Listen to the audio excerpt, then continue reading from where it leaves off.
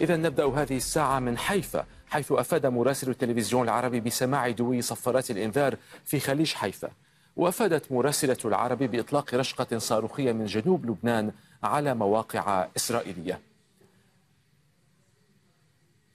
معنا من حيفا مراسل التلفزيون العربي أحمد دروشي أحمد؟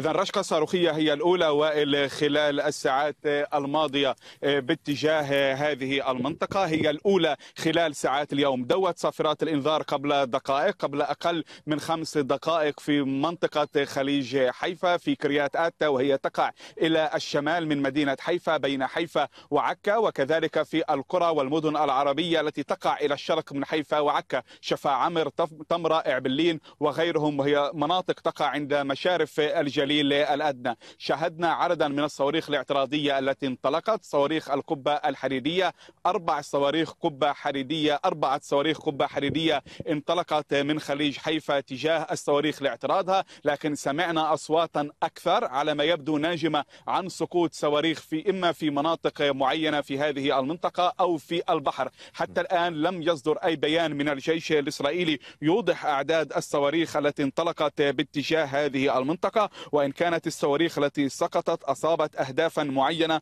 أو أنها سقطت في مناطق مفتوحة أو في منطقة البحر.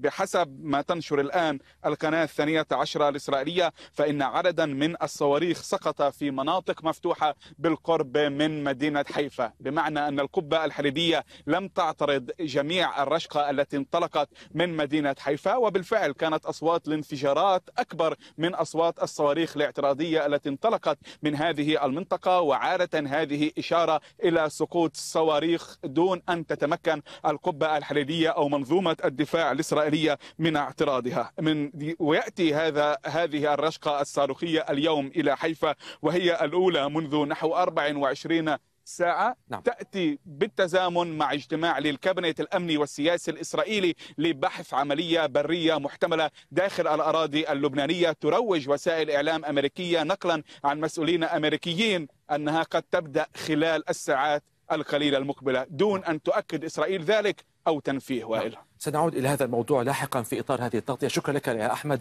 أرجو أن تبقى معنا.